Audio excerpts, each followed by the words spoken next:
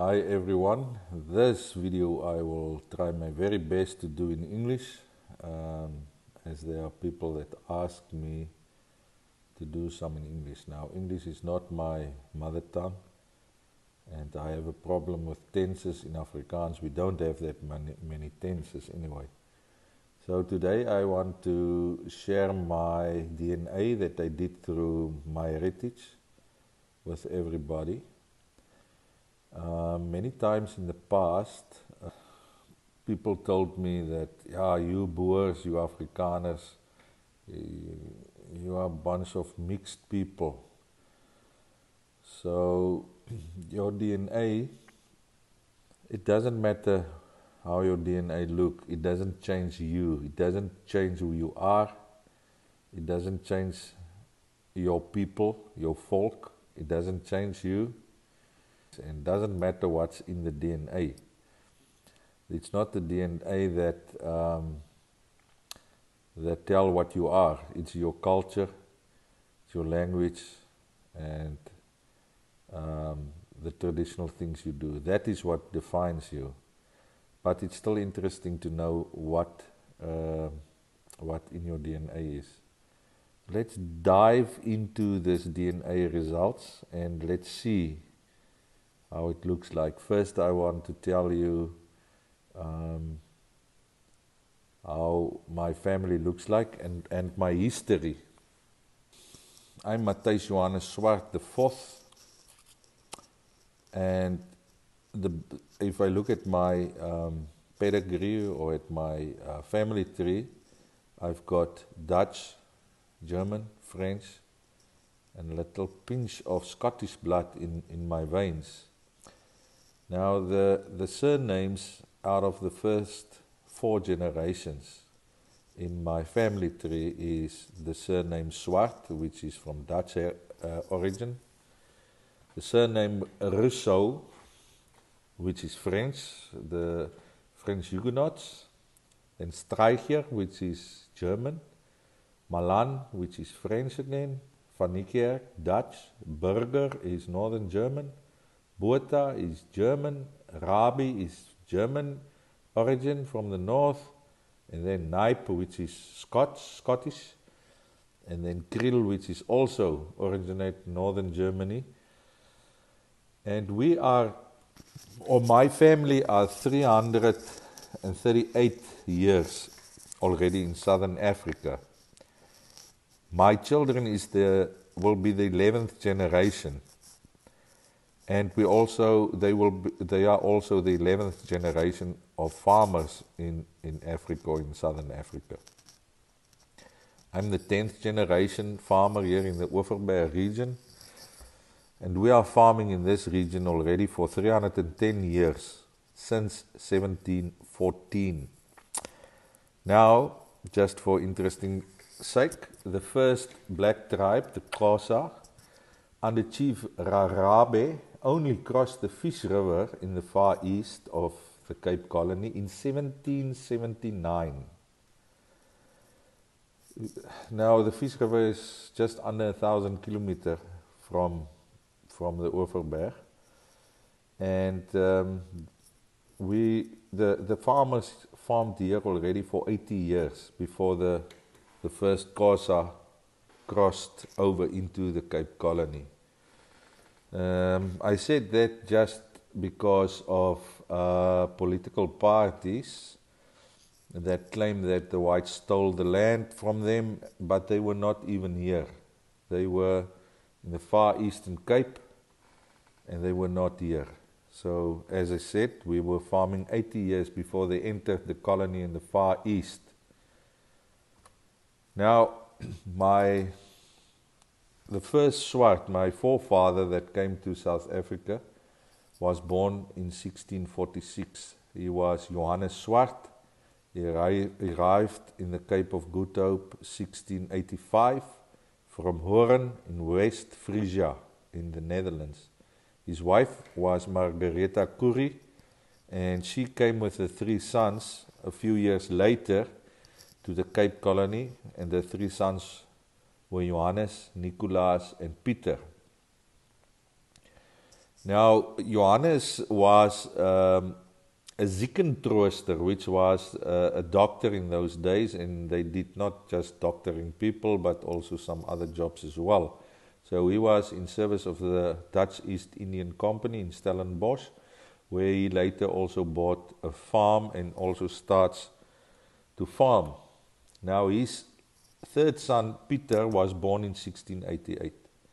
And Peter and his older brother Johannes became one of the first pioneers in the Overberg region in 1714 after they received grazing rights near Eilandkraal. Now, Peter, which is my direct descendant, married Sarah de Buys, which was the, who was the daughter of Jean de Buys and Sarah Jacob of Calais in France. So um, they were French Huguenots. Now, I have a pretty impressive uh, stamboom uh, family tree. Um, there is really just a few names that is not in that family tree yet. So, um, yeah, it's very interesting.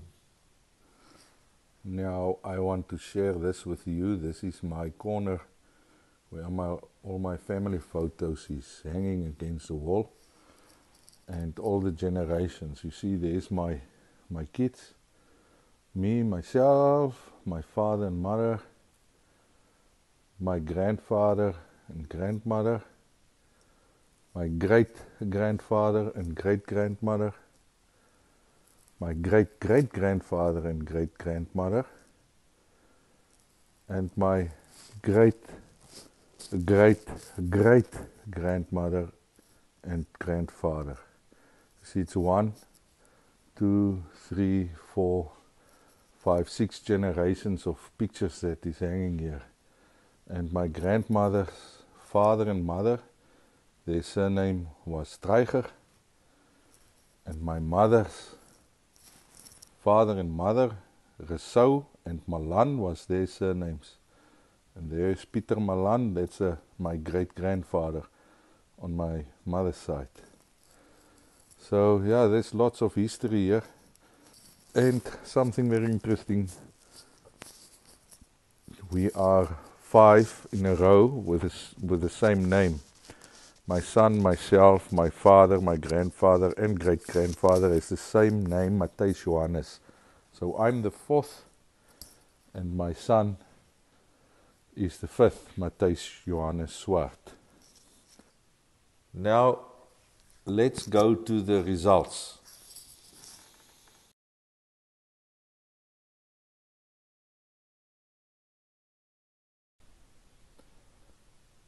Now, according to family tree DNA, my male line belonged to the Y-DNA haplogroup RM173.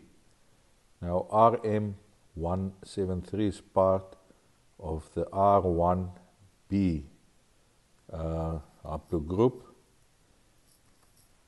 and it's very interesting. This is the route um, how they end up in Europe many, many thousands of years ago as they, they migrated into Europe. Now, the distribution of R1b in Europe is like this. It's not surprising because, as I said, my family mostly came from the Netherlands, um, Germany, and France. So this is the distribution of R1b. And then they said that my mtDNA, mitochondrial DNA, um, belonged to the haplogroup H, which is my female line, my mother's, my, mo- my mother's mother, and her mother, and her mother, and so forth. And this is the route as they migrated into Europe and this is the mtDNA haplogroup H distribution pattern throughout Europe. Again, very heavily in France and also part of southern Netherlands and Germany. Now, the autosomal DNA results show you where your ancestors come from. Now, your autosomal DNA is both your mother and father's DNA, and it uses the first five generations around about um, to to um, establish or to find where your forefathers came from. Now, very interestingly, um, I'm 100% European, Western European 95%, and this 95 is made up Central European 69%, England, Wales, and Scotland 18%, Scandinavia 9%, Southern Europe 5%, Italian Peninsula.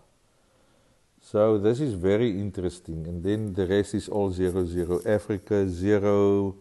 Asia, Middle East, all is zero.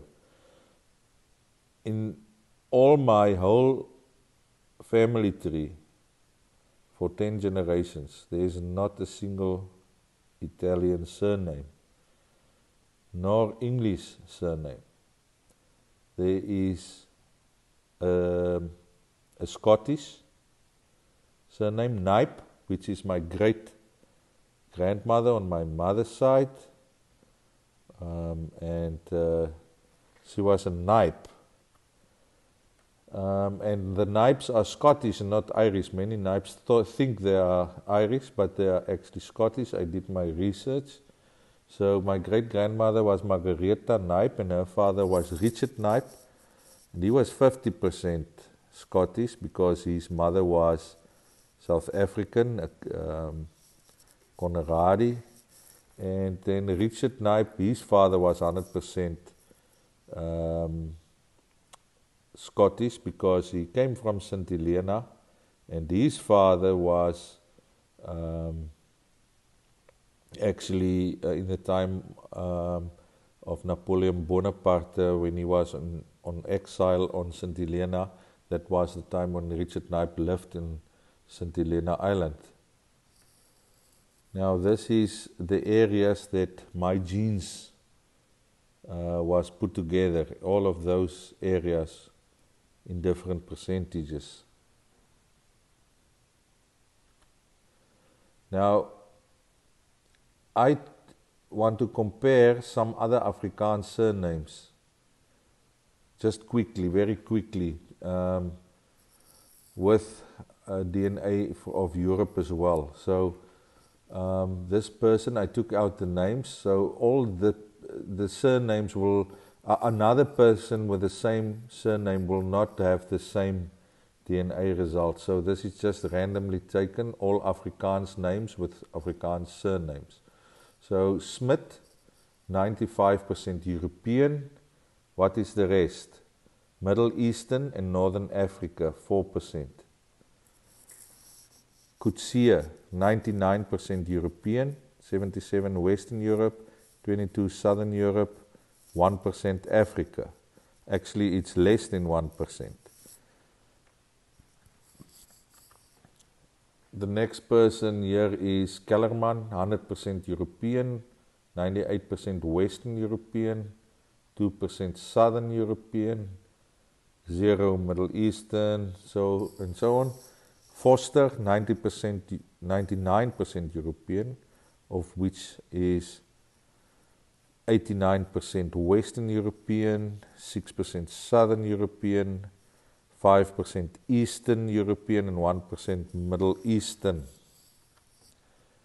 Then this person, Kuhn, 99% European, 5% Southern European, 1% Asia, Northeast Asia. Jacobs, 99% European, 99 Western European which is the rest, 1% Africa. Again, it's actually less than 1%. And 1% Asia. The next person, Botha, 99% European, 74 Western, 13 Southern, 11 Eastern, and European Jewish 1%. This person, Retief, 100% European, 100% Western European. Malan, 100% European, 100% Western European. The other person, Bosov, 99% European. Uh, Southern Europe, no, nothing, zero. Eastern European, 6. Africa, 1%, which is actually Eastern Africa. Then de Klerk, 100% Europe, 5 Southern, 2% Baltic.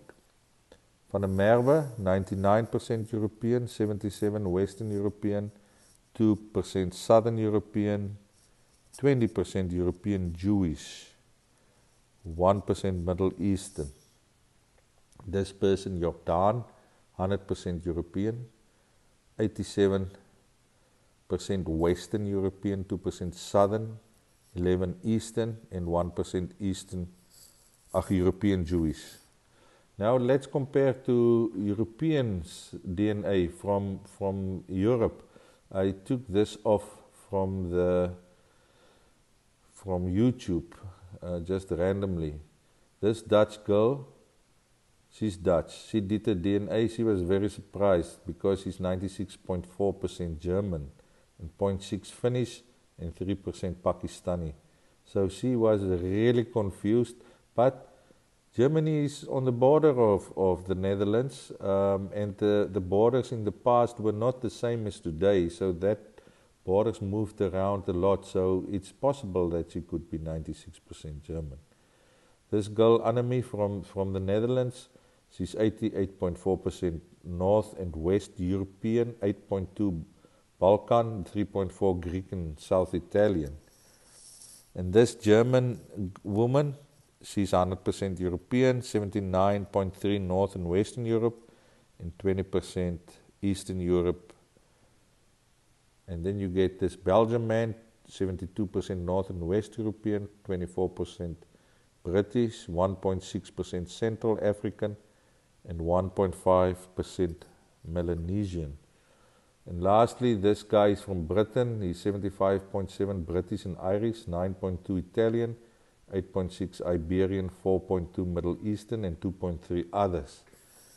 And this Amali Rode She's 40.9 Scandinavian, Greek 12, Balkan 6, North Africa 24, Nigerian 2.8, Middle Eastern 14%. So her ancestors must uh, must have been moved into Europe very uh, shortly in the in the last few years or last hundred years. This guy, Joan He's 75% Scandinavian, 18 English, 4.3 Ashkenazi Jew, and 2.3% Italian. Why did I show this? Just to show you that the Afrikaner, the Boers, are not different from the people in Europe. So if you say we are mixed, then all the Europeans are mixed. Uh, so that's quite interesting, just to compare with some of the uh, Euro European DNA. So again, um, it's very interesting the results. Um, I did my DNA quite a few years already ago. I was actually in Europe when I received my results. Yeah, I think it's it's already seven or eight years ago that I received my results, and it's the first time I share it with uh, a lot of people. It's actually on my Facebook page. Um, and again, it's not your DNA who defines you. Um, it's your character, your upbringing, your culture, um, and those things. But still, it's very interesting to know your roots and to know where you come from. And um, if you don't know where you're coming from, how will you know where to go? So that is my thoughts for the day. And enjoy your week and enjoy the rest of the year. And blessings from my side. Bye.